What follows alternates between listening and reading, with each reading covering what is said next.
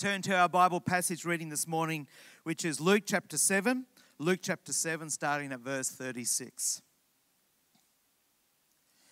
When one of the Pharisees invited Jesus to have dinner with him, he went to the Pharisee's house and reclined at the table.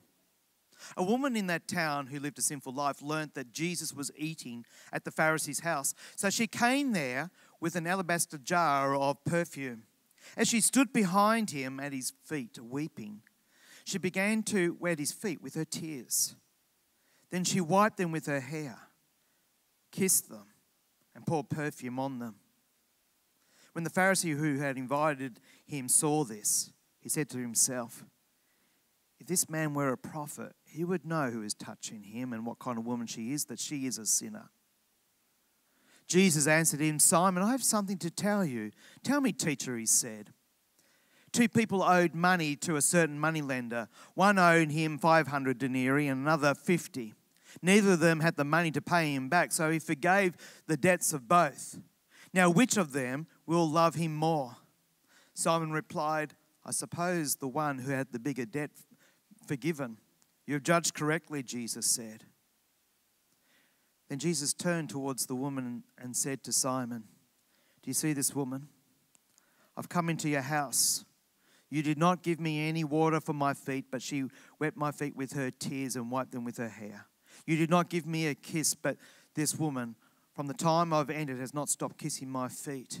You did not put oil on my head, but she has poured perfume on my feet. Therefore, I tell you, her many sins have been forgiven, as her great love has shown. But whoever has been forgiven little loves little. Then Jesus said to her, Your sins are forgiven. The other guests began to say amongst themselves, Who is it that even forgives sins? And Jesus said to the woman, Your faith has saved you. Go in peace. Father God, as we look at your word now, I pray that you may speak into our lives. In the name of Jesus, we pray. Amen. Six weeks ago, we commenced a new series that's taken us up to Christmas. It is about the different encounters that Jesus had with various people, particularly through the eyes of Dr. Luke.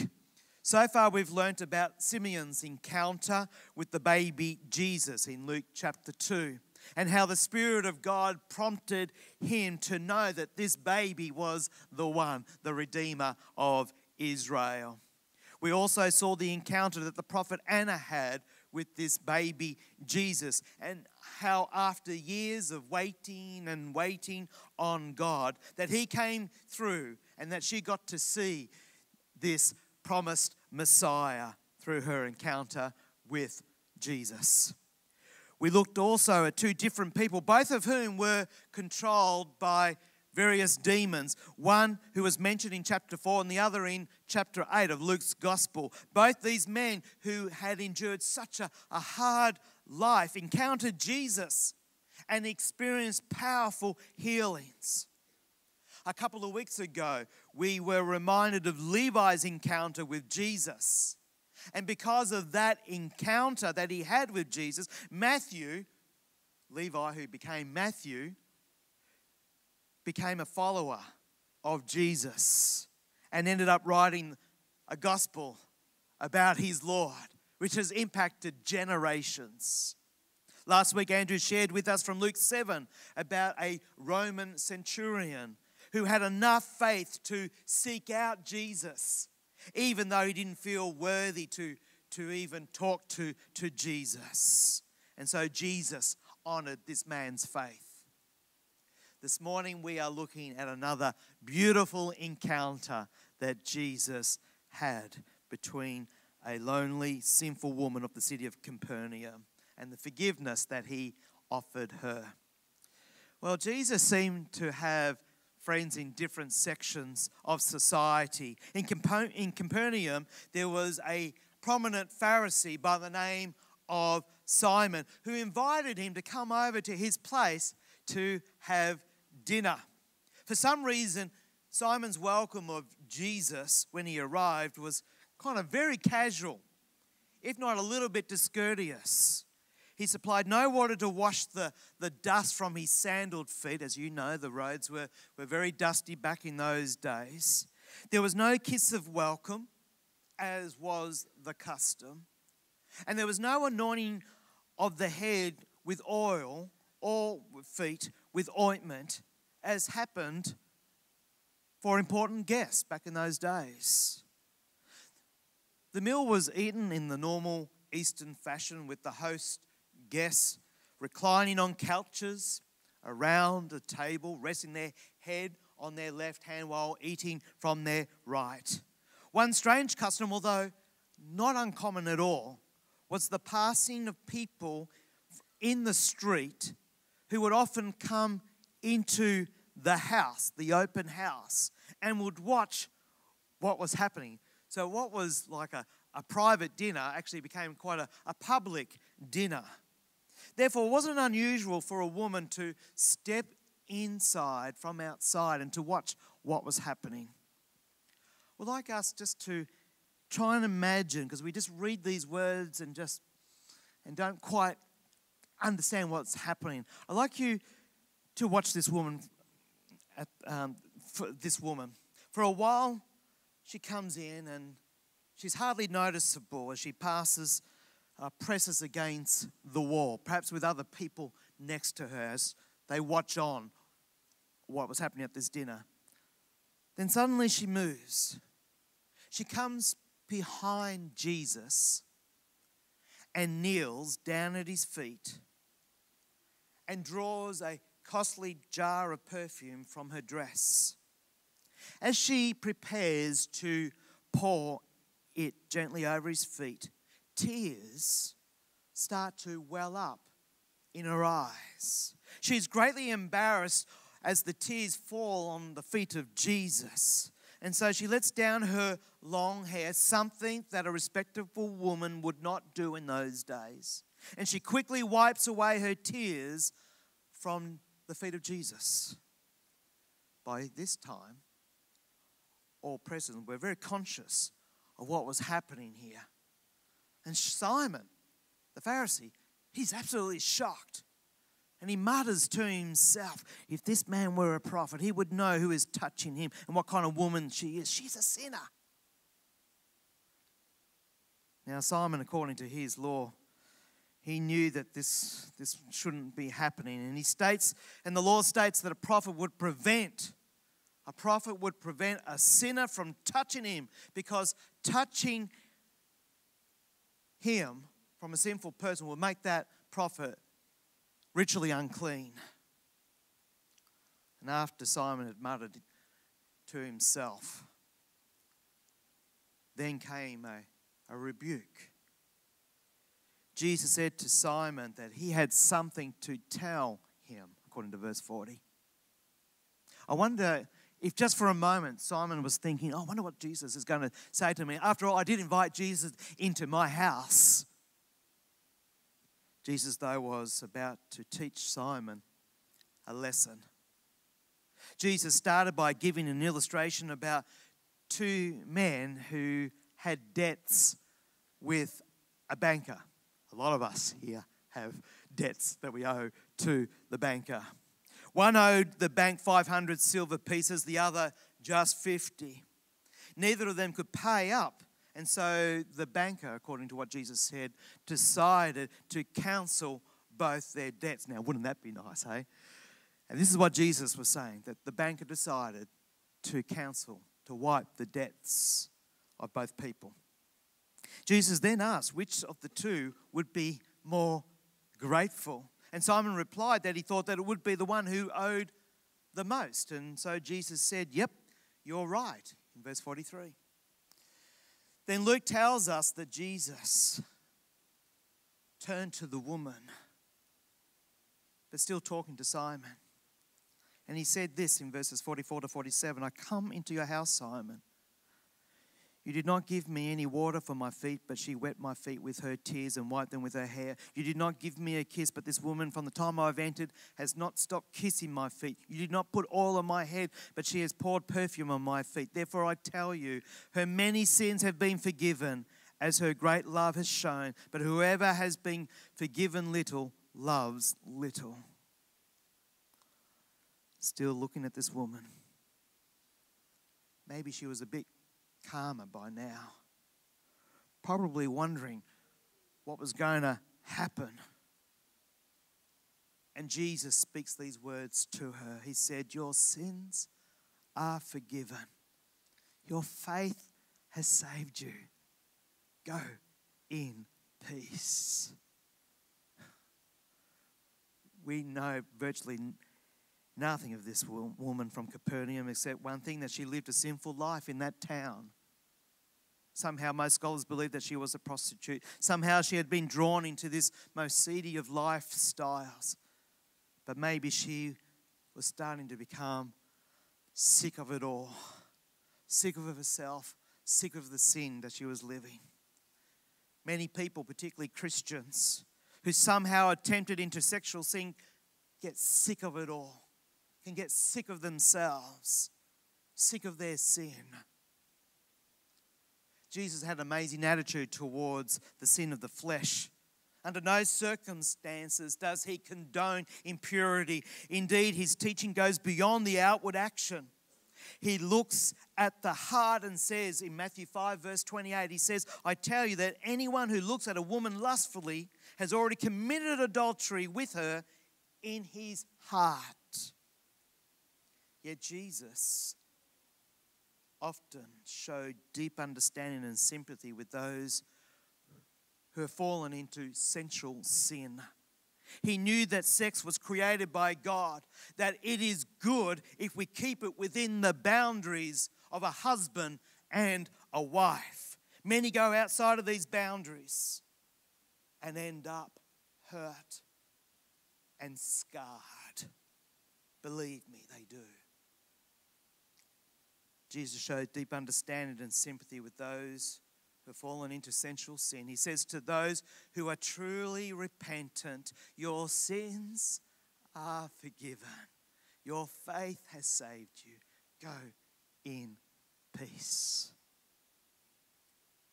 The woman of Capernaum was truly repentant and sorry for her life of sin. This was shown by her tears. She had had it. She needed forgiveness and a new life. And Jesus granted this. What a beautiful encounter that resulted in confession and forgiveness. The coming of the woman was the search of a stained, sinful life for pardon gloriously. Forgiveness was received. And she left in peace. So many need to have such an encounter with Jesus like this. They know that their life is stained by sin. Such an encounter with Jesus can lead to pardon and forgiveness and peace. Jody Cadman is a New Zealander who came to live in Sydney. Jody never forgot her mother's words, which she heard, overheard when she was just six years old. It was the end of her first year at school. The day was hot, and Jody slipped from outside inside for a drink. She was at the fridge in the kitchen when she realized that her mother was talking to her neighbor in the next room. She heard her mother say how she couldn't bear touching Jody and how she wishes she'd never had a girl. Jody couldn't move. In a few seconds, her whole world had changed. She just huddled white face shaking against the wall, trying not to cry. She hardly heard anything else her mother was saying. There was something about a, a baby boy that was stillborn. She shakenly tiptoed outside. She climbed an old tree and just cried and cried and cried until there was no more tears. Eventually, it got dark and cool outside, and so she went inside for tea. Nobody seemed to notice just how quiet she was. The hurt grew inside her, and she began to hate both her parents, saying, How dare her mother not love her? She noticed more and more how she hugged her brothers. The mother hugged her brothers and not her. She craved the same affection, would run up to her mother, but her mother would push her away. And so when she became a teenager, she fled her country for the bright lights of Sydney. When she was a street kid, Jody said this I feel as if I am desperately searching for something and I don't even know what I'm searching for. Maybe it's happiness or love, I don't know. Nothing satisfies me. I still feel hollow, frighteningly hollow. There's something missing, something important. Perhaps if I ever found it, I'll know what life was all about and what point was in it all. Street workers, Charlie and Jill, reached out to her and prayed with her. Charles said to her how God wants to forgive her mother for everything that she did and everything that she didn't do. Jody's fist, though, was still clenched with familiar anger, and she blurted out, Why the hell should I? She doesn't deserve to be forgiven. She doesn't care whether I forgive her or not. Then she gradually reached a stage in her life where she wanted God to deal with her feelings of rejection. Charles explained a very important biblical principle. He said, God cannot do much with us unless we release our revengeful grip on those who hurt us. And when Jody released her hate towards her mother, she said this I felt an enormous weight lifted off me. I felt strangely warm and peaceful inside, like I've never felt before. Over a period of time, she met a number of Christians who knew that peace. It wasn't easy for Jody to discover that peace, but she wrote in this book I love being alive. I just it's just so good being able to live peacefully with myself and with other people. I'm at peace with God. The anger's gone out of me. I didn't want to live most of my life. I was running away and searching. I'm glad to be alive now. I just want to thank Jesus for giving me life. This is what God's forgiveness is all about releasing you from your hang ups from your sins, from your bad thoughts, your wrongful desires, to a life of freedom and peace. In the book of Romans, Paul shares with us about life before Christ and life after Christ. And he said, You have been set free from sin. During 1963 in Australia, a remarkable book was published. It was a story of a man by the name of John Knatchbull, Knatchbull who was sent from England to Australia in 1824 as a convict. After incredible experiences of cruelty and suffering, he was finally executed for murder before 10,000 people in Darlinghurst in Sydney in 1844.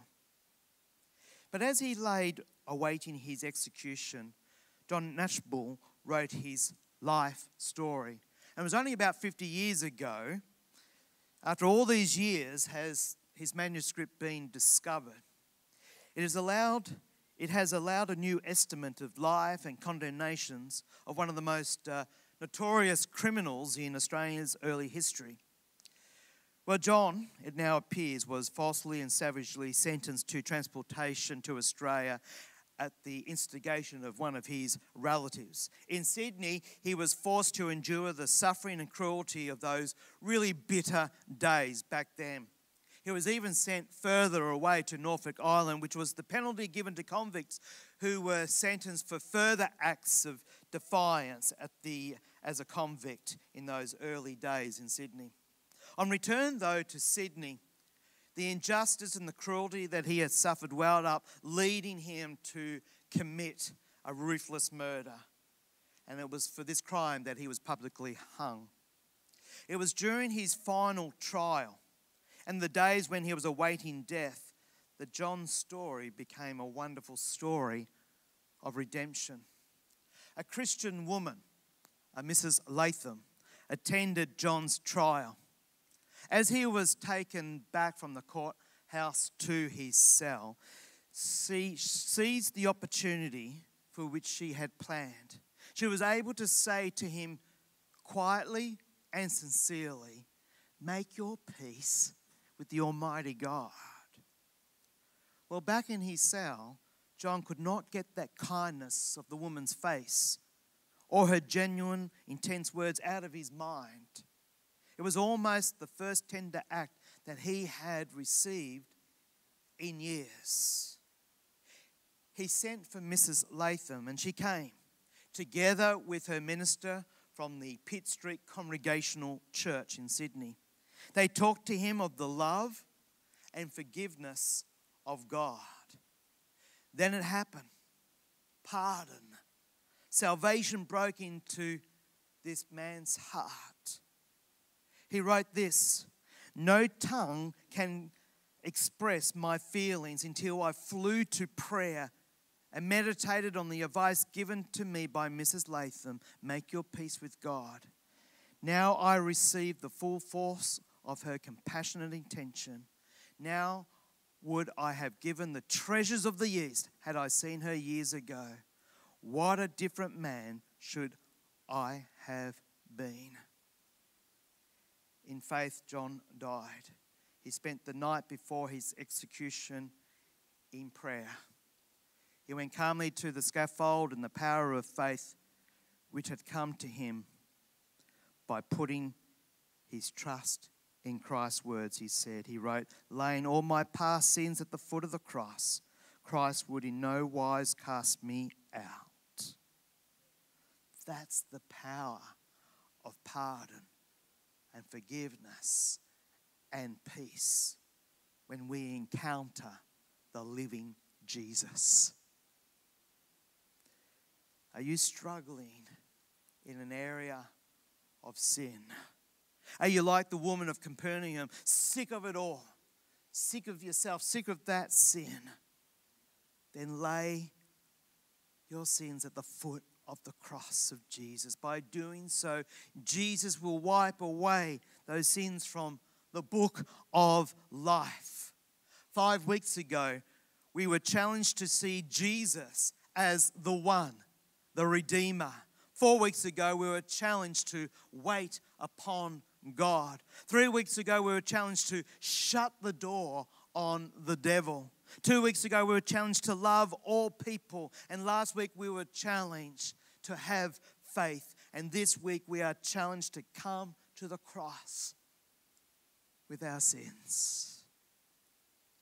Remember what Paul wrote in Romans 6, verse 18 You have been set free from sin. This is the gospel. This is the good news of Jesus Christ. He has come to help us overcome. Oh, our culture is pretty tough out there. It's hard. And I reckon ministering to, to youth and to, and to students at schools, at, at university. That's so hard because there are just there are just so many wrong messages and confusing messages out there. The culture of the world is different to the culture of true Christianity. Whatever walks of life we come from, Jesus calls us to a lifestyle that is counterculture and honors Him. And the, and the Apostle Paul, he knew this, and so he wrote this message for the church and for us as Christians about culture. He said in Romans 12, verse 2, and I'm reading from the message here, he says, Don't become so well adjusted to your culture that you fit into it without even thinking. Instead, fix your attention on God. You'll be changed from the inside out. readily recognize what He wants from you and quickly respond to it. Unlike the culture around you, always dragging you down to its level of immaturity, God brings the best out of you, develops well informed maturity in you. Sometimes we as Christians, we as Christians become too well adjusted to the culture around us that nothing sometimes can distinguish us from that culture. It's into this culture that we receive such confusing messages. And aren't there so many confusing messages going around social media and, and television and so on these days that many of us can fall into temptation and our faith starts to struggle? Paul says, instead, fix your attention on God. This woman from Capernaum, she sought Jesus out. I think she was sick of it all, sick of her life.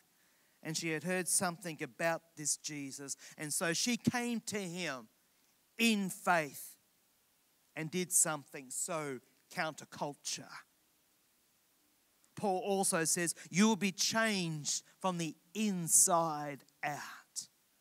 And that's what the power of the gospel and the Holy Spirit does. He can change us if we decide to be counterculture and fix our attention on God and His ways as described in His holy word. In fact, Paul says in verse 2 unlike the culture around you, always dragging you down to its level of immaturity, God brings the best out of you, develops well formed maturity in you. I reckon every single one of us can get dragged down by the culture of this world. That's the aim of the evil one. But Jesus has come and he has died on the cross for us, forgiving us for what we have done. But we are, we are to repent. We are to be sick of what we have done and who we've become. We are to fix our attention on the most holy God. And when we do in faith, God will start to bring out the best in us. Jesus did this for the woman of Capernaum. He did it for Jody. He did it for John. He did it for me. Boy, did he do it for me. And he will do it for you. That's the encounter that we can have with our Lord and Savior, Jesus Christ. Father God, thank you for the gospel yet again. The gospel, the good news of Jesus, of when we have this encounter with you, Lord, that our past, our sins can be wiped away, ready for a new life. But that takes a step of faith.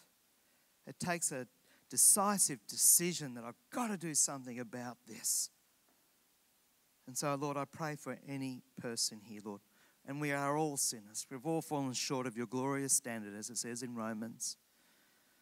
I just pray, Father God, that for those here that are just struggling, Lord, that keeps tripping over their sins. Lord, help them by the power of your Holy Spirit to come to the foot of your cross where you have dealt with the penalty of our sins. And I pray, Lord, through this encounter with you, Lord, that you'll start to lift that burden that they are carrying, carrying, Lord. And I pray, Father God, that they too will experience your forgiveness and they too will experience your peace, your peace that transcends all of our understanding. Lord, may we all experience this peace. And so, Father God, thank you for this encounter that this woman had with Jesus and what it means for us today. May you help us not just to see it as a nice story, Lord, but a story that continues to have impact upon each of our lives. Thank you again for your love and grace. Help us to fix our attention on you. In the name of Jesus, we pray. Amen.